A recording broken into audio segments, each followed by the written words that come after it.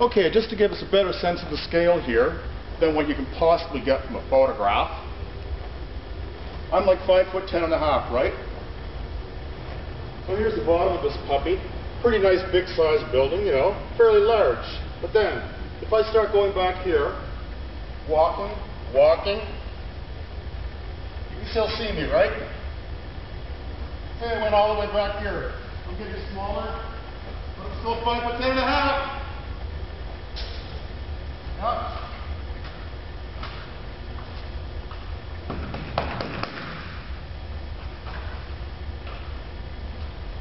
So you can see it's fairly large. Yes, indeed.